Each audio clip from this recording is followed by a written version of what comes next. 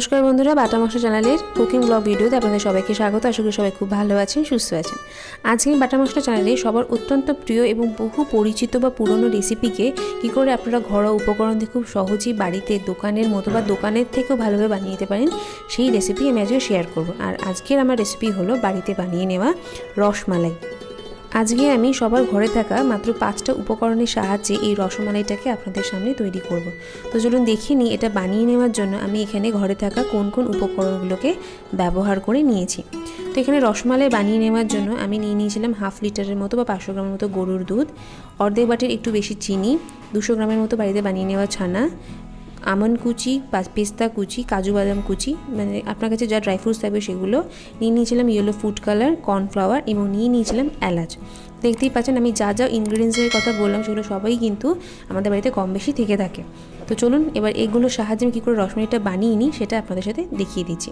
তো প্রথমে এখানে একটা ননস্টিকের নিই, তার মধ্যে এই দুধটাকে অ্যাড করে দিয়ে এটাকে মিডিয়াম থেকে লো আঁচে খুব ভালো করে ফুটিয়ে নেব এবং কন্টিনিউয়াসলি আমি এটাকে হাতা দিয়ে নাড়তে থাকব যাতে কোনোভাবেই নিচে থেকে দুধটা ধরে বা লেগে না যায়। এইখানে এই পাঁচশো গ্রাম দুধটাকে ফুটিয়ে ফুটিয়ে আমাকে আড়াইশো গ্রাম দুধ বা অর্ধেক দুধে কনভার্ট করতে হবে। খুব বেশি এরটাকে মানে ঘন করে নেব না বা এর কনসিস্টেন্টটাকে বাড়িয়ে নেব না, তাহলে কী হবে যে রসমালাইয়ের জন্য যে আমি রসগোল্লাগুলো তৈরি করে মধ্যে চুবিয়ে নেব, সেটার মধ্যে কিন্তু রসটা ঢুকতে পারবে না। আচ্ছা এবারে একটু আমি দুধটাকে ভালো করে ফুটিয়ে নিয়ে এর মধ্যে আমি পাঁচ টেবিল স্পুনের মতো চিনি অ্যাড করে দিয়েছিলাম। চিনি অ্যাড করার সাথে সাথে এটাকে খুব ভালো করে কিন্তু নেড়ে নিতে হবে। আচ্ছা আমি এখানে প্রথমে পাঁচ টেবিল স্পুন চিনি অ্যাড করেছি, পরে আমার আরেকটু মিষ্টি দরকার মনে হয়েছিল বলে আমি এর মধ্যে আরও তিন টেবিল স্পুনের মতো চিনি অ্যাড করে দিয়েছিলাম। এবারে বলি, চিনি যখন আপনি দুধে অ্যাড করবেন, তখনই কিন্তু চিনিটা গলে গিয়ে জল হয়ে যাবে এবং এর ফলে দুধের পরিমাণটা কিন্তু একটু হলেও বেড়ে যাবে। তার জন্য কী হবে? এটাকে আরও ভালো করে ফুটিয়ে নিয়ে এটার কনসিস্টেন্সিটা আরও ঘন করতে হবে। তো এবারে আমি এখানে তিনটে তেতো করে এটাকে এলাচ অ্যাড করে দিয়েছি। এর টেস্টের জন্য এবং ফ্লেভারের জন্য কারণ এলাচ দুধের মধ্যে অ্যাড করলে যে সুন্দর গন্ধটা বেরোয়, এটা কিন্তু আরও জিনিসটাকে বেশি টেম্পটেটিং করে তোলে। এবারে চিনিটা যখন খুব ভালো করে গলে যাবে, তখন এর মধ্যে আমি অ্যাড করে দেবো এক চিমটি মতো ইয়েলো ফুড কালার এখানে আমি জাফরান বা কেশরটা আমার কাছে ছিল না বলে আমি সেটা দিতে পারিনি। তার জন্য আমি ইয়েলো ফুড কালার অ্যাড করে নিয়েছি। আপনাদের কাছে যদি জাফরান বা কেশর থাকে আপনারা সেটা দিতে পারেন, বা চাইলে আপনারা ফুড কালারটাকে স্কিপও করতে পারেন।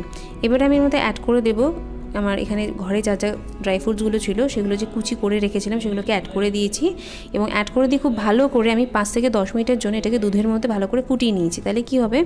এই ড্রাই ফ্রুটসের ফ্লেভারগুলো কিন্তু দুধের মধ্যে খুব ভালো করে মিশে যাবে। তো দেখতেই পাচ্ছেন দুধটা ফুটে গিয়ে কিন্তু অনেকটাই কমে এসেছে, পরিমাণটা প্রায় অর্ধেক হয়ে গেছে বলা যেতে পারে। এবারে এটাকে আমি ঠান্ডা হওয়ার জন্য রেখে দেবো।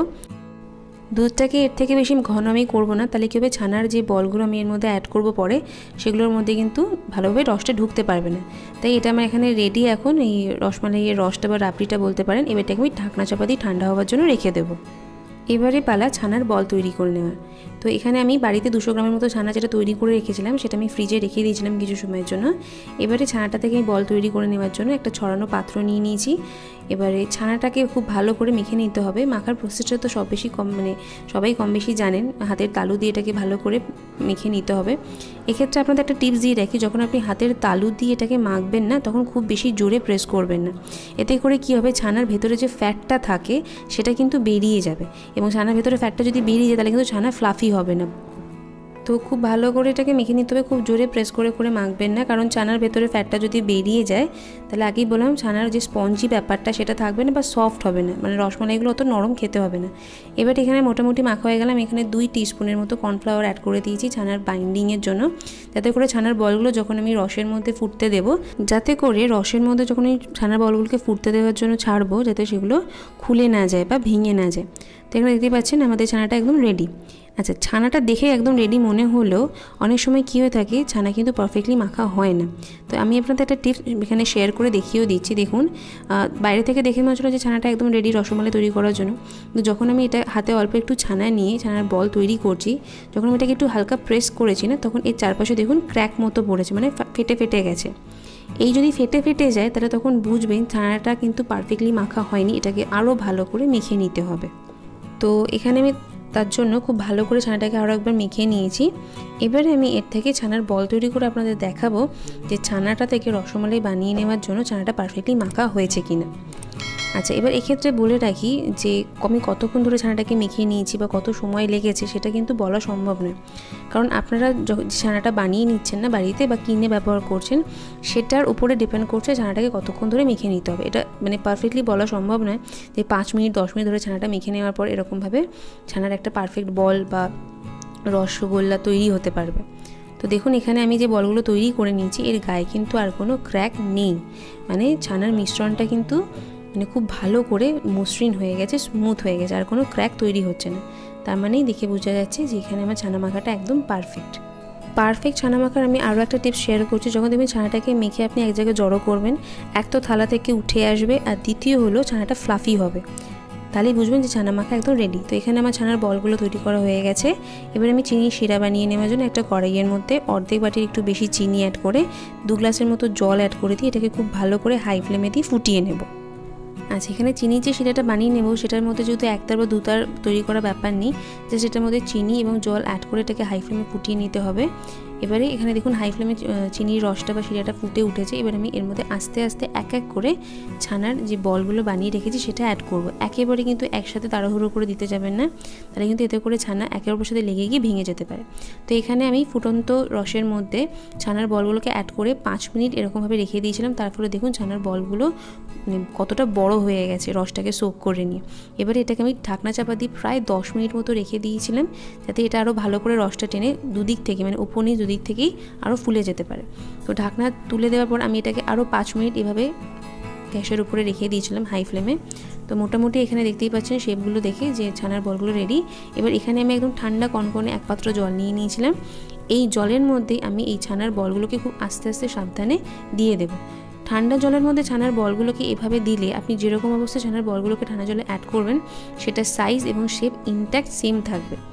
কখনো মানে এর ফলে ছোট বড় হয়ে যাবে না বা কুচকে যাবে না। আপনি যেরকমভাবে দেবেন, ছানার বলগুলো কিন্তু সেই একই আকার রেখে থাকবে। আচ্ছা এই ঠান্ডা জলের মধ্যে আমি ছানা বলগুলোকে প্রায় দশ মিনিটের জন্য রেখে দিয়েছিলাম যতক্ষণ এগুলো পুরোপুরি রূপে ঠান্ডা হয়ে গেছে। এবারে এগুলোকে আলতোভাবে প্রেস করে এর মধ্যে দেখা এক্সেস জলটাকে বের করে দিয়ে আমি রসের মধ্যে এগুলোকে অ্যাড করে দেবো। দেখুন, আমি যখন এটাকে হাত দিয়ে প্রেস করব, এটা স্পঞ্জের মতো জলটাকে মানে বের করে দিয়ে কেমন চুপসে যাবে। তার মানে বুঝতে পারবেন যেটা কিন্তু স্পঞ্জি হয়ে গেছে এবং কতটা ফ্লাফিও হয়েছে। যখন এটাকে আমি রসে দেবো, রসটাকে সোক করে নিই এটা ফের ফুলে যাবে। স্পঞ্জি রসমালাইয়ের এটাই একটা মানে পরিচিতি। যে আপনি যখন ওটাকে প্রেস করবেন, ওটা চুপসে যাবে। আবার যখন ওটা রসের মধ্যে দেবেন, তখন রসটা ঢুকে ওটা ফের ফুলে উঠবে। তো এখানে আমার রসটা আগে থাকতে আমি ঠান্ডা করে নিয়েছিলাম। এবার এর মধ্যে আমি, এবারে এর মধ্যে আমি মানে এই ছানার বলগুলো থেকে এক্সেস জলটাকে আলতোভাবে প্রেস করে বের করে দিয়ে এই ঠান্ডা রসমালাইয়ের যে রসটা, সেটার মধ্যে অ্যাড করে দেবো। তো দেখতেই পাচ্ছেন, এই সেগুলো কিন্তু একদম ইনট্যাক্ট রয়েছে, যেরকমভাবে আমি দিয়েছিলাম। তো এবার আলতোভাবে এই রসের মধ্যে অ্যাড করে দেবো। এবারে সমস্ত রসমালাইয়ের মানে যে রসগোল্লাগুলো তৈরি করে নিয়েছি, সেটাকে আমি এর মধ্যে অ্যাড করে দিয়ে আমি এটাকে ঢাকনা চাপা দিয়ে আরও পাঁচ মিনিটের জন্য লো থেকে মিডিয়াম ফ্লেমে এটাকে একটু ফুটিয়ে নেব। এতে করে কি হবে? রসমালাইয়ের থেকে যে আমি জলটা বের করে নিয়েছিলাম রসটা, এর ফলে যে মধ্যে ফাঁকা জায়গাটা তৈরি হয়েছিল, এটা হালকা আছে রসের মধ্যে দিয়ে একটু ফুটিয়ে নিলে রসমালাইয়ের মধ্যে কিন্তু রসটা ভালোভাবে ঢুকে যেতে পারবে।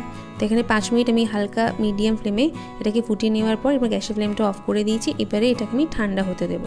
তো এখানে দেখুন আমাদের রসমালাই ঠান্ডা হয়ে যাওয়ার পর এই কালারটা কতটা চেঞ্জ হয়ে গেছে এবং রসমালাইগুলো কিন্তু আগের থেকে আরও বেশি রসটাকে সোক করে নিয়ে ফুলে উঠেছে। তো এবার এটাকে আপনার ফ্রিজে রেখেও সার্ভ করতে পারেন ঠান্ডা ঠান্ডা।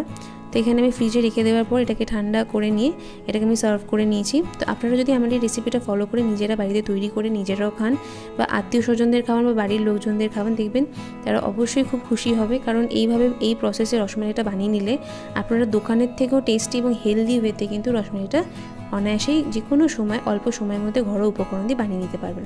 তো এখানে আমি প্লেট প্লেটিং করে নিয়েছি। এবার আমি এর মধ্যে রেখে দেওয়া কিছু ড্রাই ফ্রুটসগুলো ডেকোরেশনের জন্য অ্যাড করে দেবো।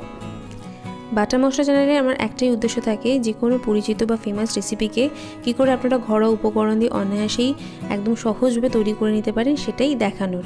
তো আমি এটাও চেষ্টা করেছি তার জন্য রসমালাইটাকে আমরা যেগুলো দোকান থেকে কিনে থাকি কিংবা খেয়ে থাকি কিনে, সেটাকে আপনারা বাড়িতে থাকে ঘরোয়া উপকরণ দিয়ে কী করে বানিয়ে নিয়ে নিতে পারবেন, সেটাই সহজভাবে দেখানোর চেষ্টা করেছি মাত্র। তো আশা করছি আমার আজকের ভিডিওটা আপনাদের সবার ভালো লেগেছে। যদি ভালো লেগে থাকে তাহলে অবশ্যই সেটা কমেন্ট সেকশনে জানাবেন। আপনারাও বাড়িতে ট্রাই করবেন কেমন লাগল সেটাও জানাতে ভুলবেন না। তো এখানে আমি রসমালাইটাকে একটু চামচ দিয়ে কেটে দেখিয়ে দিয়েছি। এটা কতটা সফট হয়েছিল জাস্ট চামচ দিয়ে হালকা প্রেস করাতে কিন্তু রসমালাইটা কেটে আসছে। তো আপনারা যদি এরকম নিত্য নতুন রেসিপি বা সহজ রেসিপি দেখতে চান সেটাও কমেন্ট সেকশনে জানাবেন। আমি চেষ্টা করব সেই রেসিপিগুলোকে আমার চ্যানেলে তুলে ধরার। যারা এখনও চ্যানেলটাকে সাবস্ক্রাইব করেন, তারা প্লিজ চ্যানেলটাকে সাবস্ক্রাইব করে দেবেন। ভিডিও ভালো লাগলে লাইক কমেন্ট শেয়ার তো অবশ্যই করবেন।